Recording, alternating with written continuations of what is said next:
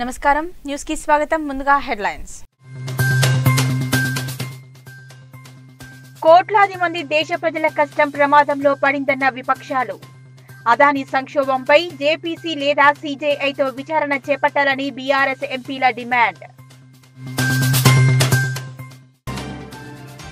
ఎన్నికలు కాదు దేశాభివృద్ధి ముఖ్యం అన్న కేటీఆర్. ఆ దిశగా కేంద్ర బడ్జెట్ లేదని ఎన్హెచ్ఆర్డీ సదస్సులో కీలక వ్యాఖ్యలు.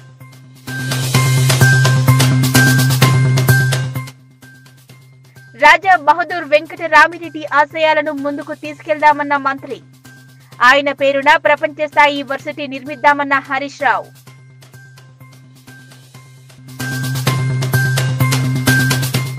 చేగుంటలో మీడియా సమావేశం నిర్వహించిన ఎంపీపీ మాస్ల శ్రీనివాస్. గ్రామ పంచాయతీలకు నిధులు మంజూరు చేసిన మంత్రి హరీష్ రావు ఎంపీ కొత్త ప్రభాకర్ రెడ్డిలకు కృతజ్ఞతలు. భారత్లో ఆర్థిక అభివృద్ధి కన్నా నాయకులు రాజకీయాలపైనే ఎక్కువ దృష్టి పెడతారని ఐటీ శాఖ మంత్రి కేటీఆర్ అన్నారు. హెచ్ఏసీసీలో ఎన్హెచ్ఆర్డి ఆధ్వర్యంలో నిర్వహించిన డీకోడ్ ది ఫ్యూచర్ అనే అంశంపై కేటీఆర్ మాట్లాడారు. భారత్లోనూ ఎంతో మంది గొప్పవారు తెలివైన నేతలు ఉన్నారు. అయితే మెరుగైన ఆర్థిక వ్యవస్థ భవిష్యత్ తరాలకు మనకన్నా మంచి భవిష్యత్తును అందించే అంశాలపై వారు దృష్టి పెట్టడం లేదన్నారు.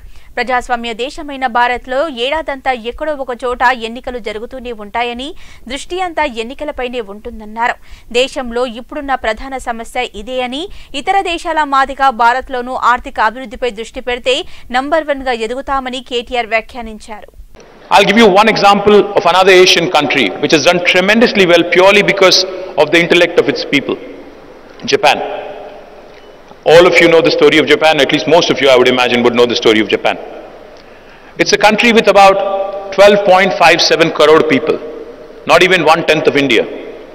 And it's a country whose geography, in fact, is so complicated that 75% of the country is uninhabitable. 75% of the country is mountainous. The topography is such that it's a very, very densely populated country across the coastal areas.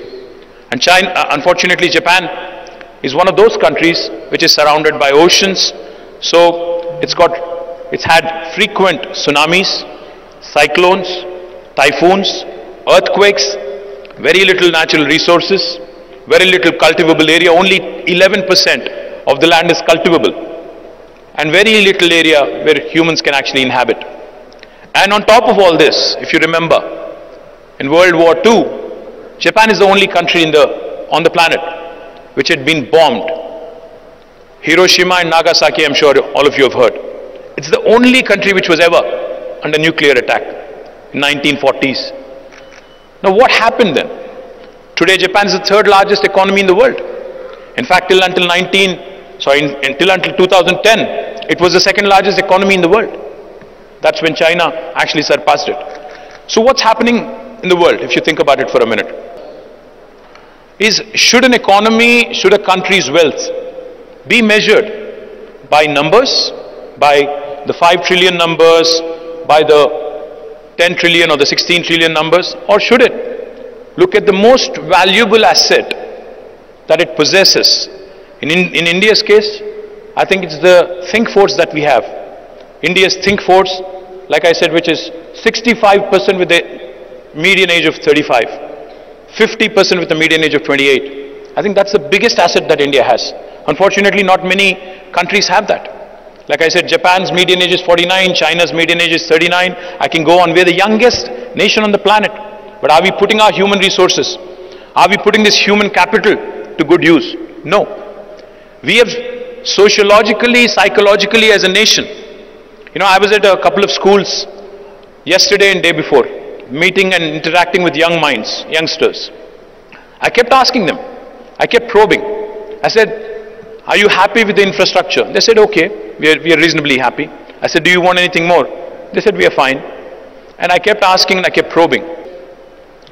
Name one single brand from India that has come out, which is truly which is truly having a global appeal. A real original Indian brand that truly has a brand appeal across the world. If you ask me, look around. You will be holding an Apple phone.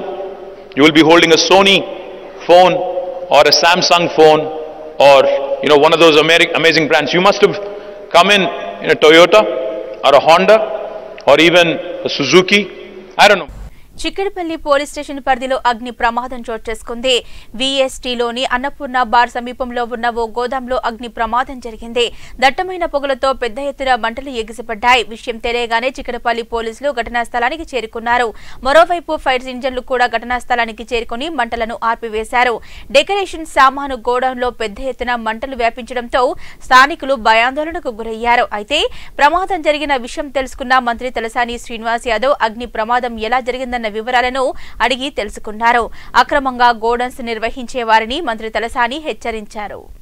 ఒక ఉన్నత స్థాయి సమావేశం ఏర్పాటు చేసుకుని ఒక committee కూడా మనం constitute చేయడం జరిగింది. అందరు సీనియర్ ఆఫీసర్స్ని మరి అందరూ కోఆర్డినేషన్ జరిగి దాంతోపాటు కేటీఆర్ గారు ఆ యొక్క మీటింగ్కు లీడ్ తీసుకోవడం జరిగింది. అయితే గవర్నమెంట్ పరంగా తీసుకోవలసినటువంటి ప్రికాషన్స్ అన్నీ తీసుకోవడం జరుగుతుంది.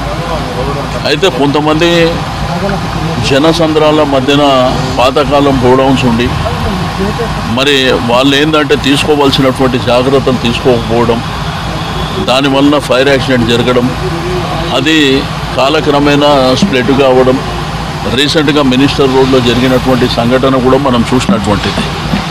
కాబట్టి ఇదేంటంటే అప్పుడు ఒక ఇరవై ఇరవై ఐదు ముప్పై సంవత్సరాల క్రితం కొన్ని గోడౌన్స్ వచ్చేసినాయి. కానీ వాళ్ళు ఏ జాగ్రత్తలు తీసుకోకుండా ఇష్టం ఉన్నట్టు ఏ వస్తువులైతే వాడద్దు. నీకు కెమికల్ కానీ థర్మకోల్ కానీ అంటే చాలా వస్తువులు ఫై ఫైర్ యాక్సిడెంట్ జరగడానికి అవకాశం ఉన్నటువంటి వస్తువులన్నీ వాళ్ళు రెగ్యులర్గా "ఆ, ఏమైతుంది అనే భావనలో ఉంటే బట్ ఫర్దర్గా ఏంటంటే సీరియస్గా తీసుకుంటాం తర్వాత మళ్ళా హెల్ప్లెస్ అవుతాం ఫర్దర్గా మాత్రం అందరూ జాగ్రత్తలు తీసుకోవాలని చెప్పి నేను కోరుతున్నాను ఇటీవల ఇంగ్లాండ్లో జరిగిన అండర్ నైన్టీన్ ఉమెన్స్ వరల్డ్ కప్లో భారత్ జట్టు విజేతగా నిలిచింది. జట్టులో తెలంగాణకు చెందిన క్రీడాకారిణులు G Trisha Yashasvi fitness trainer Shalini England నుంచి హైదరాబాద్కు చేరుకున్నారు. ఈ సందర్భంగా శంషాబాద్ ఎయిర్పోర్ట్లో వారికి రాష్ట్ర క్రీడా శాఖ మంత్రి శ్రీనివాస్ గౌడ్ ఘన స్వాగతం పలికి అభినందించారు. ఈ కార్యక్రమంలో ఆయనతో పాటు రాష్ట్ర క్రీడా ప్రాధికార సంస్థ చైర్మన్ డాక్టర్ ఆంజనేయ గౌడ్ సంస్థ అధికారులు ధనలక్ష్మి సుజాత క్రికెట్ కోచ్ రాజశేఖర్ రెడ్డి క్రీడాభిమానులు పాల్గొన్నారు. థ్యాంక్స్ ఫర్ సపోర్ట్ అందరి దగ్గర నుంచి ఈవెన్ మంత్రి సార్ దగ్గర నుంచి ఎక్కడి నుంచి అన్న వచ్చిన సపోర్ట్ వల్ల అందరికీ చాలా థ్యాంక్స్ ఇంకా చాలా హ్యాపీ ఉంది ఫస్ట్ వరల్డ్ కప్ మనకు వచ్చినందుకు. అండ్ దాంట్లో నేను ఒక పార్ట్ టఫ్ ఏం లేకుండే ఇట్స్ టూ గేమ్స్ గేమ్ ఆ రోజు ఎవరు గెలిస్తే వాళ్ళు ఆ రోజు మేము చాలా మంచిగా చేసాం మేము గెలిచాం. నా పేరెంట్స్ నా కంట్రీ ఇంత చాలా ఇయర్స్ తర్వాత మేము ఉమెన్స్ గెలిచినాం ఫైనల్స్ చాలా పెద్ద అచీవ్మెంట్ మా అందరికి. మొత్తం మా government my association credit to everyone my coaches and I feel very proud and it is a very good achievement as per me and yeah మేము ఫార్టీ డేస్ నుంచి టోర్నమెంట్ ప్రిపరేషన్ చేస్తున్నాము. So పెట్టడం was our challenge and south ఆఫ్రికాలో కొంచెం nutrition పైన ఎక్కువ concentrate చేశాం ఎందుకంటే వాళ్ళ ఫుడ్ మన ఫుడ్ చాలా డిఫరెంట్గా ఉంటుంది. కానీ uh, వీళ్ళు మెంటలీ వెరీ స్ట్రాంగ్ అండ్ ఇద్దరు చాలా మంచి క్రికెట్ ఆడారు. So and I'm very proud that వీళ్ళిద్దరు వల్ల today we got world cup and I'm very proud that they both are from Hyderabad ముఖ్యమంత్రి కేసీఆర్ పై మాజీ ఎంపీ రవీందర్ నాయక్ తీవ్ర వ్యాఖ్యలు చేశారు. తెలంగాణ అనని వాళ్ళకు మంత్రి పదవులు ఇచ్చారని తెలంగాణ ద్రోహి కేసీఆర్ అంటూ ఆరోపించారు. ప్రత్యేక రాష్ట్రం కోసం వందల మంది తమ ప్రాణాలను త్యాగం చేశారని ఆవేదన వ్యక్తం చేశారు. ఇదే విషయంపై కేసీఆర్ను అడిగితే తనను పార్టీ నుంచి బయటకు పంపించారని తెలిపారు. ప్రజలకు ఇచ్చిన ఏ ఒక్క హామీ కూడా కేసీఆర్ నెరవేర్చలేదని మండిపడ్డారు. కమిషన్ల కోసమే కేసీఆర్ ప్రాజెక్టులు కట్టించారని ఆరోపించారు.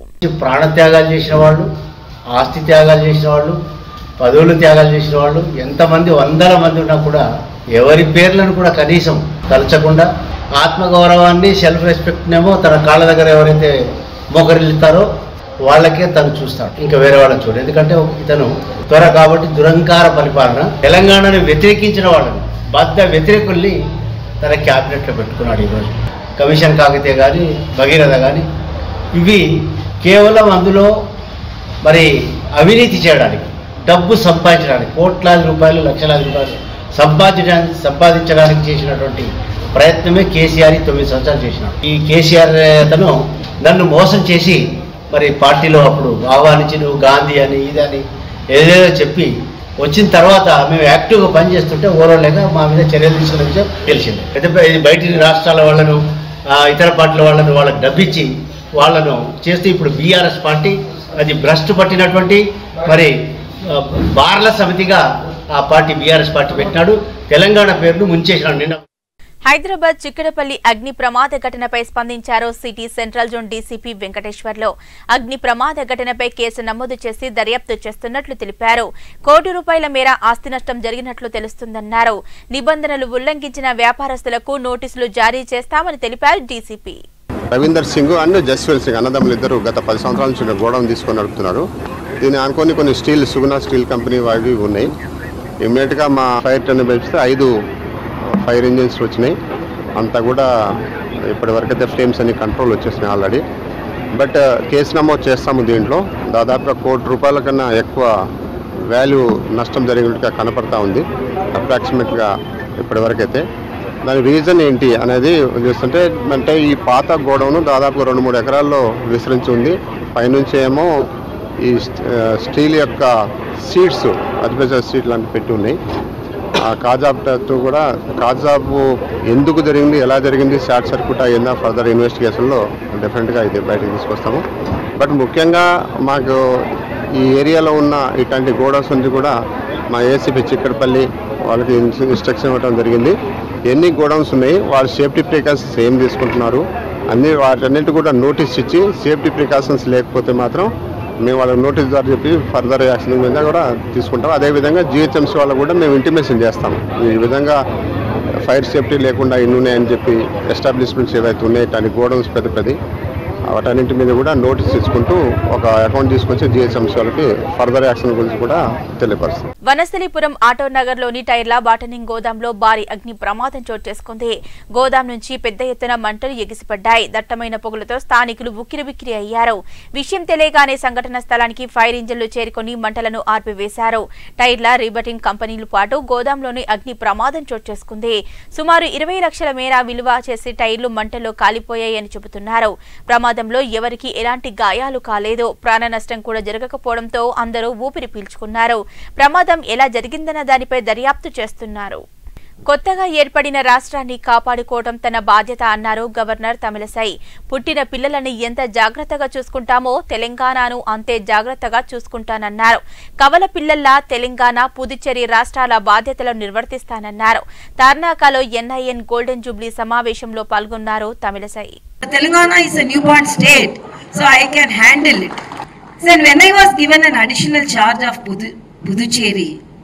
to manage the administration at Puducherry, same critics came forward and asked, okay, okay, she managed Telangana, how she is going to manage Puducherry? Again I told, as a gynecologist, I can manage if a singleton is born, I can manage if twin babies are also born. So that confidence is given to me by my profession and my career as a gynecologist. So as doctors, even during the COVID, the because of the doctors and because of the awareness and because of they were facing the challenges. So only when some of the doctors were admitted during COVID here, when the doctors were on panic, I wore PPE and went to the hospitals and gave hope to them so that they are the saviors. And because of that, most of the doctors gain confidence. So a doctor, governor is wearing the PPE and coming to the hospital. So we have, we are, we have to be more courageous because we have the support of the governor itself. So that is the message. So whatever may be the situation, my ap- appeal is making the people aware because even now it's a 130 crore population and we are very happy i am very confident that we have taken our indigenous vaccination which was the dream of like medical students during our medical student days. We used to be longing for the vaccines to be imported from other countries. But now we are very happy and proud that we have taken our vaccination. And our vaccination has been administered in more than 150 countries and we have exported our vaccine. Raja Bahadur Venkata Ramireddy educational society అనేది సేవా ఆధారిత లాభాపేక్ష రహిత సంస్థ అని మంత్రి హరీష్ రావు అన్నారు. Raja Bahadur Venkata Ramireddy educational society నూతన వసతి గృహ నిర్మాణానికి మంత్రులు సబితా ఇంద్రారెడ్డి నిరంజన్ రెడ్డి ప్రశాంత్ రెడ్డితో కలిసి మంత్రి హరీష్ రావు భూమి పూజ చేశారు.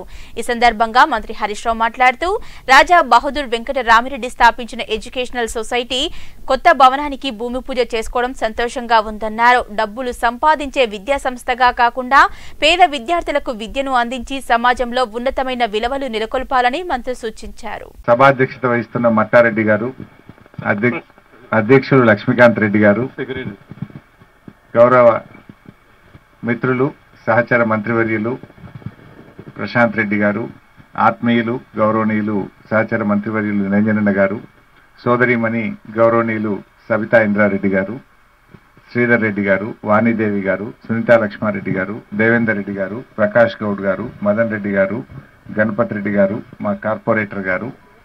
వేదిక మీద ఉన్న బోర్డు డైరెక్టర్స్ మరి సంఘ పెద్దలు జర్నలిస్ట్ సోదరులు అందరికీ నా హృదయపూర్వక నమస్కారాలు. చాలా సంతోషం. రాజ్ బహదూర్ వెంకట్రామరెడ్డి గారి పేరిట ఈరోజు మరో నూతన హాస్టల్ భవన శంకుస్థాపన చేసుకున్న సందర్భంగా అందరికీ శుభాకాంక్షలు తెలియజేస్తూ మరి ఇంత మంచి స్థలము పదిహేను ఎకరాల స్థలము ఇంత అద్భుతమైనటువంటి ప్రాంతంలో మనకు ముఖ్యమంత్రి కేసీఆర్ గారు ఇచ్చారు. నిజంగా ఈ ల్యాండ్ వాల్యూ చూస్తే తక్కువ తక్కువ మూడు వందల కోట్లు ఉంటుంది కావచ్చు. ఓ మూడు వందల కోట్ల రూపాయల విలువ కలిగిన భూమిని ముఖ్యమంత్రి గారు మరి ఆ వెంకటరామరెడ్డి గారి పేరు మీద ఇది ఒక అద్భుతమైన యూనివర్సిటీ రావాలి ఇది ఒక మంచి విద్యాక్షేత్రంగా వెలసిల్లాలి అని చెప్పి వారు ఆకాంక్షించారు. ఇవాళ మా మిత్రులు ప్రశాంత్ రెడ్డి గారు అన్నట్టు మరి ముఖ్యమంత్రి గారి ఆకాంక్షలకు అనుగుణంగా ఇది ఒక అద్భుతమైనటువంటి ఒక యూనివర్సిటీ రాగలిగితే మరి ఎంతో మేలు జరుగుతుంది. ఇప్పుడే మా సబితక్ అన్నట్టు ఆ రోజు పంతొమ్మిది వందల పద్దెనిమిదవ సంవత్సరంలోనే రాజ్ బహదూర్ వెంకట్రామరెడ్డి గారు ఆలోచించి హాస్టల్ ప్రారంభించుండకపోతే ఇంతమంది విద్యావేత్తలు ఇంతమంది జడ్జిలు ఇలా సవితక్క నేను కూడా అక్కడ చదువుకున్నా అన్నారు. నిరంజనన్న నేను చదువుకున్నా అని చెప్పినారు. పివి నరసింహారావు గారి నుంచి మొదలుకుంటే జస్టిస్ జీవన్ రెడ్డి గారు జస్టిస్ సుదర్శన్ రెడ్డి గారు ఎంతో మందికి ఎం సత్యనారాయణరావు గారు ఎంఎస్ఆర్ గారు సో పేర్వారం రాములు గారు ఇలా ఒకరు కాదు ఇద్దరు కాదు. ఇంతమందికి ఇలా అవకాశం కలిగించిన ఘనత మరి ఆర్బీవీఆర్కే దక్కింది. సీఎం గారే అడుగుతుంది ఏమైంది ఏమైందని? సో మనం మనం ఒక మంచి ప్రతిపాదన వారి ముందు మనం పెట్టగలిగితే డెఫినెట్గా మనం చేసుకోవచ్చు. రెండు కోరికలు కోరిండు మా దామోదర్ రెడ్డి గారు మరియు మా మిత్రులు కృపాకర్ రెడ్డి గారు లక్ష్మీకాంత్ రెడ్డి గారు. అయితే నాకు కూడా చాలా అభినాభావ సంబంధం కృపాకర్ రెడ్డి గారితో దామోదర్ రెడ్డి గారితో. తెలంగాణ ఉద్యమ కాలంలో చాలా రోజులు మేము ఉద్యమం టైంలో కలిసి పనిచేస్తుంటే ఆ ప్రేమ మా మధ్య ఆ సాన్నిహిత్యం కూడా ఉంది. బహుశా ఆ ప్రేమతోనే పిలిచినారు. అయితే ఒకటి ఐదు కోట్ల రూపాయల నిధులు విడుదల చేయాలని చెప్తారు. తప్పకుండా ఆ ఐదు కోట్ల రూపాయలు విడుదల చేయిస్తాం. పని ఆగకుండా మీకు ఎప్పటికప్పుడు అవసరమైన నిధులు అందించే బాధ్యత నేను తీసుకుంటాం. రెండో విషయం మా ప్రశాంత్ గారు నిరంజన్ అన్న సబితక్క మేము కలిసి ఇంకా కొద్దిగా స్థలం ఏదైతే దీని రోడ్డు ఎంట్రీ విషయం మీరు చెప్పినారు అది కూడా ఆ వన్ ఎకర్ది ముఖ్యమంత్రి గారి దృష్టికి తీసుకుపోయి తప్పకుండా దాన్ని కేటాయించడానికి కూడా మా సంపూర్ణమైన సహకారం అందిస్తాం. ఏది ఏమైనా ఇది అతి తక్కువ సమయంలో మరి హాస్టల్ పూర్తి కావాలి. ఇది ఒక విశ్వవిద్యాలయంగా మీరు దాని అనుమతి సాధించాలి. అదేదో రొటీన్ మనము డబ్బులు సంపాదించే యూనివర్సిటీగా కాకుండా పేద పిల్లలకు ప్రపంచ స్థాయి విద్యను అందించే విధంగా ప్రపంచంలో ఈరోజు కాంపిటేటివ్ వరల్డ్కు అనుగుణంగా మన సంస్థ వచ్చేటట్టుగా మీరు మంచి సమున్నత ఉన్నతమైనటువంటి ఆలోచనలతో ముందుకు రావాలని చెప్పి దానికి మా అందరం దానికి నేను యాక్చువల్గా ఇందాక పక్కన కూర్చొని నేను ప్రశాంత్ గారు అదే మాట్లాడుకుంటున్నాం. ఇది డెఫినెట్గా డ్రైవ్ చేయాలి. నాకు కొంతమంది పరిచయం ఉన్న వాళ్ళు ఉన్నారు నేను పరిచయం చేస్తా మీరు లీడ్ తీసుకోండి అని నేను ప్రశాంత్ చాలాసేపు దాని మీదనే మాట్లాడుతూ ఉంటుంది so latest push for that విద్యాశాఖ మంత్రి గారే మనకు ఉన్నారు బోర్డర్గా ఉన్నారు కనుక అక్క సహకారం నిరంజన సహకారంతో ముఖ్యమంత్రి గారి ఆశీస్సులతో దీన్ని ముందుకు తీసుకొని పోదామని మనవి చేస్తూ మరోసారి అందరికీ శుభాకాంక్షలు. అదాని సంక్షోభంపై జేపీసీ లేదా సీజేఐతో విచారణ చేపట్టాలని బీఆర్ఎస్ ఎంపీలు డిమాండ్ చేశారు. ఈ నేపథ్యంలో లోక్సభ రాజ్యసభల్లో వాయిదా తీర్మానం ఇచ్చినట్లు వెల్లడించారు. ఆర్థిక అంశం కాబట్టే వాయిదా తీర్మానం ఇచ్చి చర్చ జరగాలని కోరామని పార్లమెంటరీ పార్టీ నేత కేకే అన్నారు. ఇవాళ బీఆర్ఎస్ ఇవాళ ఢిల్లీలో బీఆర్ఎస్ ఎంపీలు ఇవాళ మీడియాతో మాట్లాడారు. అదాని షేర్లు ఇరవై ఏడు శాతం పడిపోయాయని ఎంపీ కేకే తెలిపారు. వ్యాపారస్తులు ప్రభుత్వం స్నేహితులుగా ఉన్నాయని అందుకే కేంద్ర ప్రభుత్వం స్పందించడం లేదని విమర్శించారు. చైర్మన్ ఇవ్వడం జరిగింది రాజ్యసభలో. ఇవాళ దేశం లోపల ఒక క్రోనిక్ క్యాపిటలిజం అనేటి పేరు మీద దేశం యొక్క ఎకానమీ కానివ్వండి దేశం యొక్క ఎకనామిక్ యాక్టివిటీ కానివ్వండి క్రౌడ్ అయిపోతున్నప్పుడు ఇంతకన్నా పెద్ద ఇంపార్టెంట్ సబ్జెక్ట్ ఏది ఉంటుంది అని మేము అంటా ఉన్నాం. అదాని పేరు మీద కానీ lakhs of crores rupees invest కావడం అది ఆయన ఎల్ఐసి కానీ ఎస్బీఐ కానీ ఆయన కంపెనీలలో ఈయన స్టాక్ మ్యానిపులేషన్ చేసి ఓవర్ ప్రైసింగ్ చేపించి దాన్ని ఈక్వేట్ చేయడము. ఇన్స్టిట్యూషన్ నుంచి రిపోర్ట్ వచ్చింది. ఈయన దానికి రిప్లై ఇచ్చాడు. ఇచ్చినా కానీ దానికి ఒక ఎంక్వైరీ కావాలని మేము కోరుకుంటాను దానికి ఆల్ పార్టీస్ అగ్రీ చేస్తాయి. స్పీకర్ కానివ్వండి చైర్మన్ కానివ్వండి ఇది ఆర్డర్లో లేదు అనేది దాని పక్కన తీసుకున్నాడు. ఆర్డర్ అంటే ఏంటో ఇంతవరకు నాకు అర్థం కాలేదు. మీరు చెప్పండి ఆర్డర్ ఏంటో మీరు చెప్తే నాకు ప్రొఫార్మా ఇస్తే ఫిలప్ చేస్తాము. అది తప్పది. ఇంతకన్నా పెద్ద సీరియస్ ఇష్యూ ఉండదు.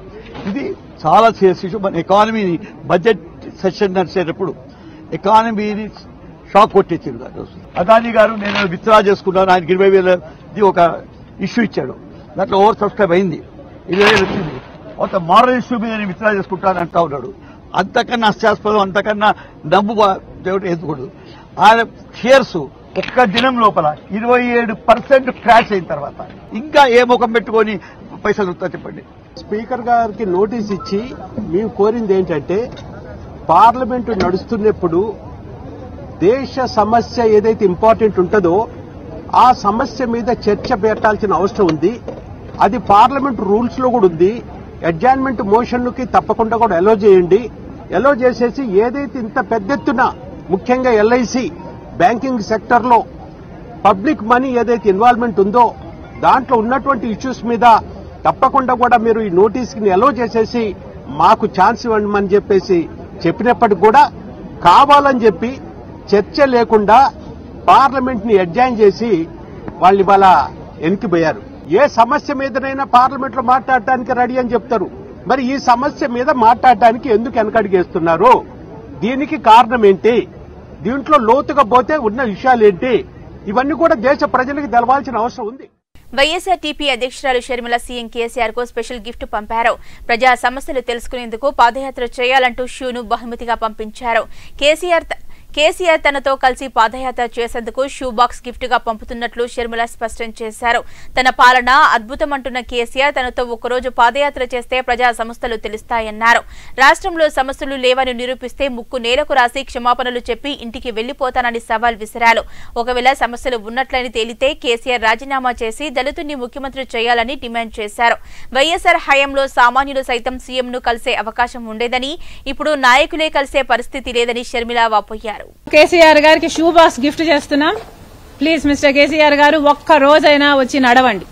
ప్రజల సమస్యలు ఒక్క రోజైనా చూడండి.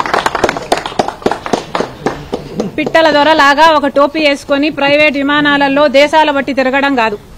మీ ప్రజలు ఓట్లేసి గెలిపించిన మీ ప్రజల కోసం కూడా ఆలోచన చేయండి.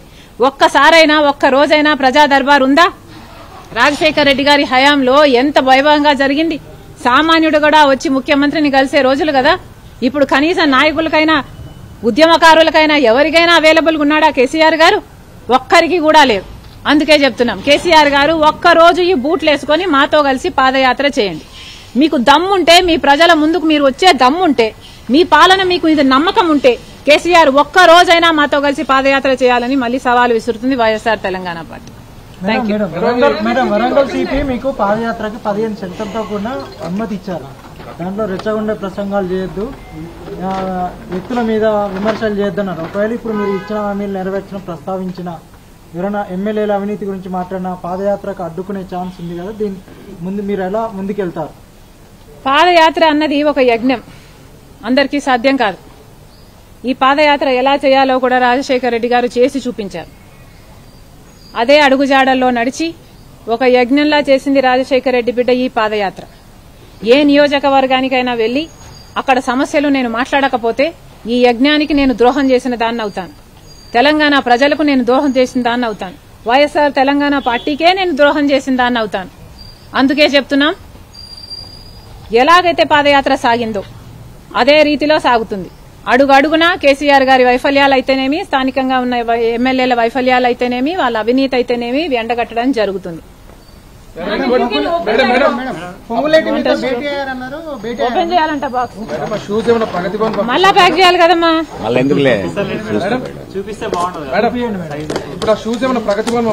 అవును మీకు ఇస్తాం అనుకున్నారా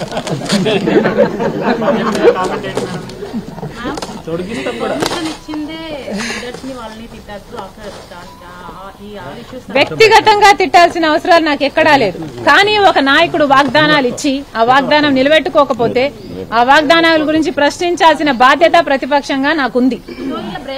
నేను చేస్తూనే ఉంటాను. నా బాధ్యత మాత్రం నేను చేస్తూనే ఉంటాను. వైఎస్ షర్మిల ఎమ్మెల్యేలను ఎమ్మెల్యే మీద ఎమ్మెల్యేల మీద నిరాధారణమైనటువంటి అవినీతి ఆరోపణలు చేస్తున్నారు. ఎక్కడా కూడా ఆధారాలు చూపించకుండా ఆరోపణలు చేస్తున్నారు ప్రధాన విమర్శ ఎమ్మెల్యేలు ఓకే? ఏ నాయకులైతే ఆరోపణలు చేస్తున్నారో ఆ నాయకులకు దమ్ముంటే మీ మీ నియోజకవర్గాలలో ఒక పబ్లిక్ ఫోరం పెట్టండి. ఎవరైతే ఆరోపణలు చేశారో ఆ ఫోరంకి వస్తారు. మీడియా కూడా వస్తుంది. ప్రతిపక్షాలు కూడా వస్తాయి. మా పార్టీ నుంచి కూడా వస్తారు. మీ నిజాయితీ ఏమిటో మీరు నిరూపించుకోవాల్సిన బాధ్యత మీకుంది. ఆరోపణలు ఏమిటో మీ మీద ఎలిగేషన్లు వచ్చినప్పుడు ఆ ఫోరంలో నిలబడి ఇది కాదు ఇది వాస్తవమని సాక్ష్యాధారాలతో మీరు నిరూపించుకోండి. ఎందుకంటే మీరు ప్రజా ప్రతినిధులు కాబట్టి. గుజరాత్ అల్లర్లపై బీబీసీ రూపొందించిన డాక్యుమెంటరీ ప్రదర్శనకు ఏర్పాట్లు చేశారు ఓయూ టీఆర్ఎస్పీ విద్యార్థి నేతలు. ఆర్ట్స్ కాలేజీ వద్ద డాక్యుమెంటరీ ప్రదర్శనకు ప్రయత్నించారు. పోలీసులు అడ్డుకోవడంతో డాక్యుమెంటరీపై నిషేధం ఎత్తివేయాలని నినాదం చేశారు విద్యార్థి నేతలు. ఎంత చెప్పినా విద్యార్థులు వినకపోవడంతో అరెస్టు చేసి పీఎస్కు తరలించారు పోలీసులు. చేగుంట మండల కేంద్రంలో మీడియా సమావేశం ఏర్పాటు చేశారు ఎంపీపీ మాస్ల శ్రీనివాస్. ఈ సందర్భంగా ఆయన మాట్లాడుతూ దుబ్బాక నియోజకవర్గంలోని అన్ని గ్రామ పంచాయతీలకు మంత్రి హరీష్ రావు మెదక్ ఎంపీ కొత్త ప్రభాకర్ రెడ్డిలో ప్రతి గ్రామ పంచాయతీకి పది లక్షల రూపాయలు మంజూరు చేయడం జరిగిందని తెలిపారు. అదేవిధంగా చేగుంట మండలంలోని ప్రతి గ్రామ పంచాయతీ అభివృద్ధి పథంలో నడిచే విధంగా ఒక్కొక్క గ్రామ పంచాయతీకి పది లక్షల రూపాయలు మంజూరు చేయడం జరిగిందని చేగుంట మండలాన్ని అభివృద్ధి పథంలో నడిపించేందుకు కృషి చేస్తున్న మంత్రి హరీష్ రావుకు ఎంపీ కొత్త ప్రభాకర్ రెడ్డిలకు ఈ సందర్భంగా ఎంపీపీ మాసుల శ్రీనివాస్ కృతజ్ఞతలు తెలియజేశారు దుబ్బాక నియోజకవర్గంలోని మరి అన్ని మండలాలకు మరి గౌరవ మంత్రి హరీష్ రావు గారు ఎంపీ కొత్త ప్రభాకర్ రెడ్డి గారి చొరవతో మరి ప్రతి మండలానికి ప్రతి గ్రామ పంచాయతీకి మరి పది లక్షల రూపాయలు సీసీ రోడ్లకు ఇవ్వడం నిజంగా కూడా చాలా గర్వకారణం.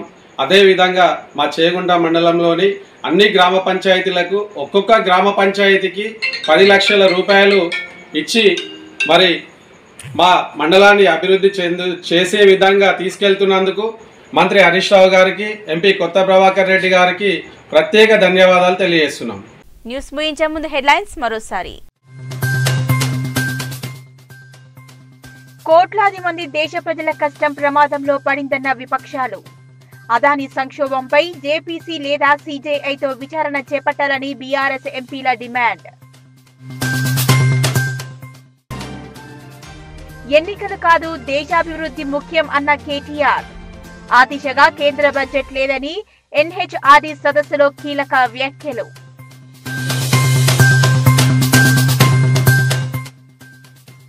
రాజా బహదూర్ వెంకట రామిరెడ్డి ఆశయాలను ముందుకు తీసుకెళ్దామన్న మంత్రి. ఆయన పేరున ప్రపంచ స్థాయి వర్సిటీ నిర్మిద్దామన్న హరీష్ రావు.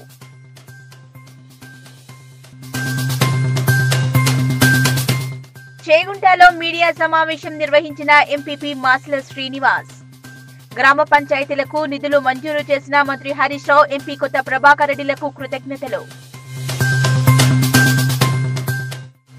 ఇవి ఇప్పటివరకున్న అప్డేట్స్. నమస్కారం.